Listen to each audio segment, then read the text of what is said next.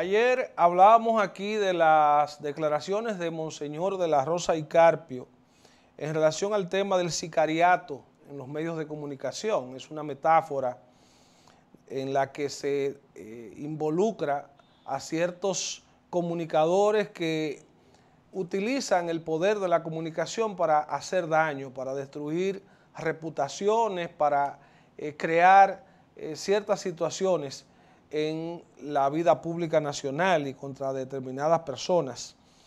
Personas a veces encargadas de alguna función pública, otras veces tenedores de fortunas y gente que tiene que cuidar imagen.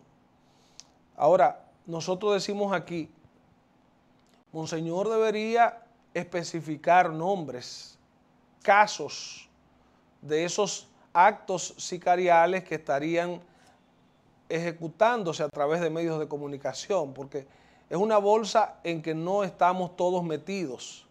Y no es que yo no me voy a dar por aludido porque yo no soy de esos, no se trata de eso.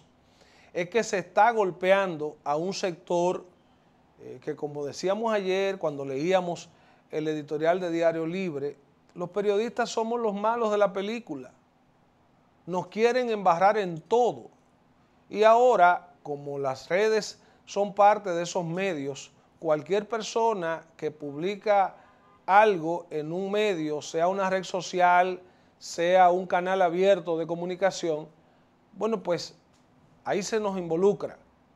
Eh, hay que separar los que tienen un uso irresponsable en las redes que están eh, libres al uso de cualquier persona, incluso menores de edad, incluso personas que tratan de manera profesional e interesada de dañar reputaciones, pero por el otro lado estamos los que somos profesionales en comunicación, que vivimos de esto, que este es nuestro oficio, que esta es nuestra principal actividad y que sabemos cuál es el fundamento de toda historia, qué es lo que realmente interesa a la población.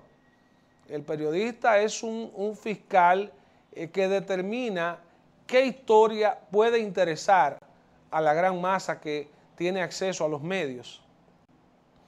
Entonces, si alguien se aparta de la ética, si alguien dispara con miras meramente a hacer daño o a buscar a través del chantaje eh, sacar ganancia material con esto, pues vamos a señalarlo. Ahora mismo se está hablando del caso de Brecht y que podrían haber comunicadores emplazados por el Ministerio Público se ha envalentonado el procurador Jean Alain Rodríguez a decir que hay personas ahí que tuvieron mezclas que eh, en operaciones de los sobornos que pagó de Brecht a sectores dominicanos para poder viciar las licitaciones de obras y poder ganar de manera privilegiada los concursos que se han hecho en los últimos 12, 14 años.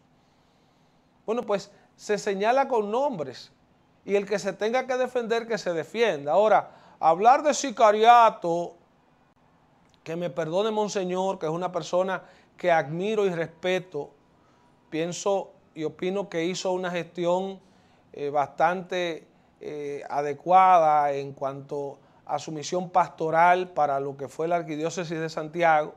He compartido con él, lo considero una persona afable, que dispone de muchos conocimientos eh, de cultura general, pero así no. Así no.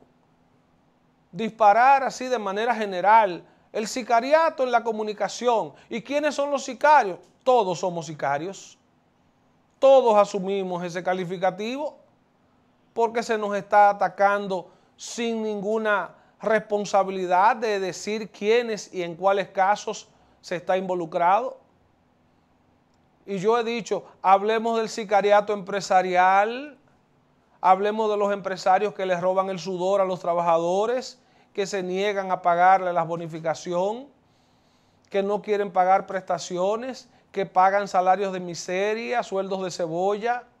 Hablemos del sicariato en el sector sindical, donde hay gente toda una vida viviendo de los pendejos trabajadores. Hablemos del sicariato político, de la cantidad de blasfemos, de hipócritas, de manipuladores de situaciones de pobreza. que se ocupan de la función pública, que administran el presupuesto del Estado. Hablemos de sicariato en los abogados, en jueces, en fiscales. Ah, pero es muy fácil coger de pendejos a los que estamos en los medios de comunicación y decir ustedes son sicarios. Y el que no sea sicario que se agache. No, aquí no hay por qué agacharse. Aquí hay que actuar con responsabilidad y ser abanderados de un sector, porque de eso se trata. Ser abanderados de un sector. Si usted es abogado, defiéndase como abogado. Si usted es periodista, si usted es maestro, defiéndase como lo que usted es.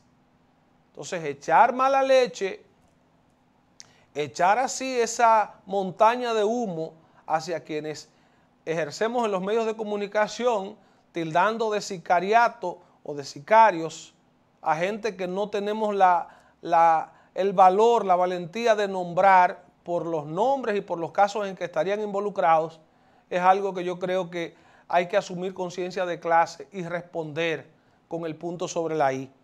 Tenía una historia aquí con relación al caso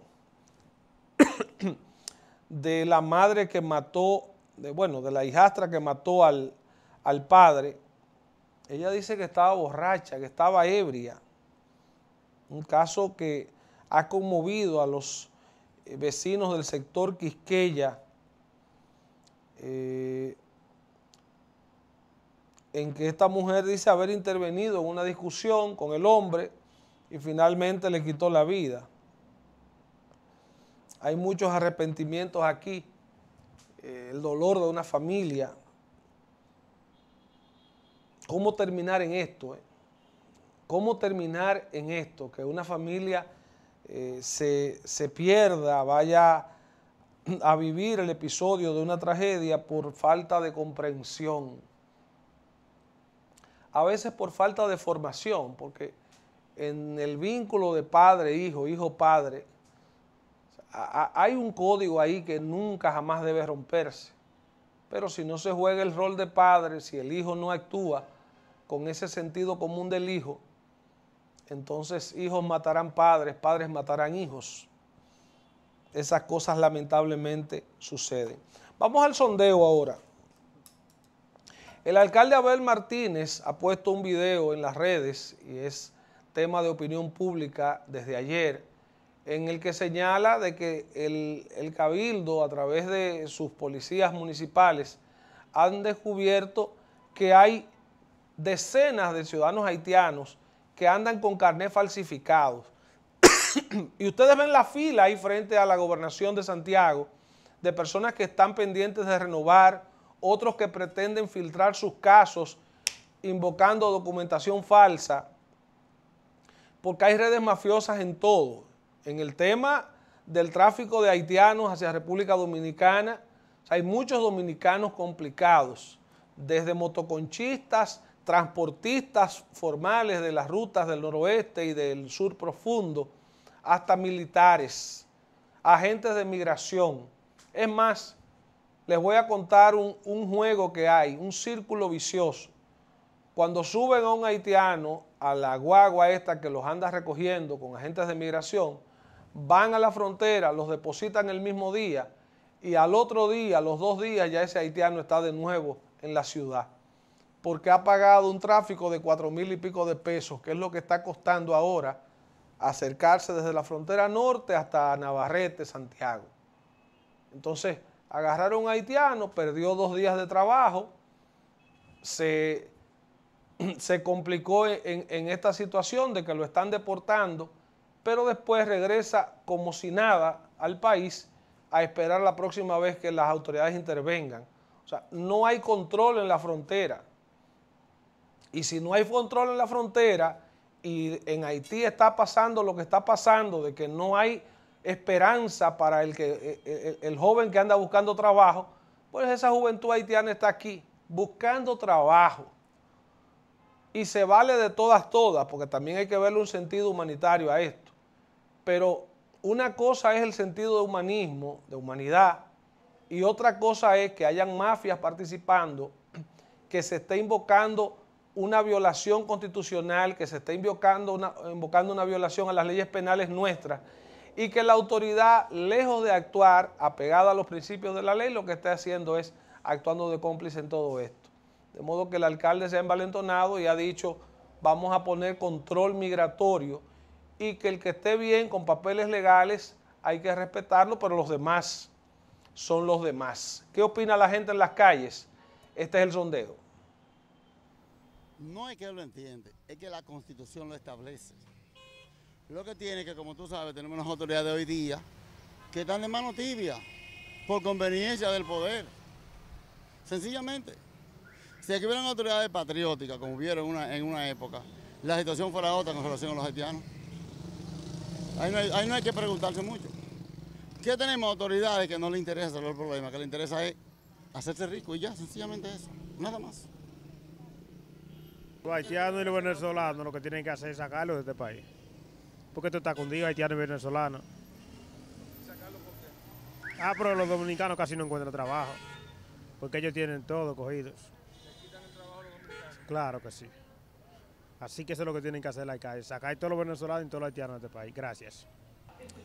Bueno, yo lo que opino ahí es que el que esté documentado tiene que arreglar sus papeles y hay que deportarlo si está ilegal en este país porque pueden, pueden atracar, hacer lo que sea y nadie sabe quién lo hizo.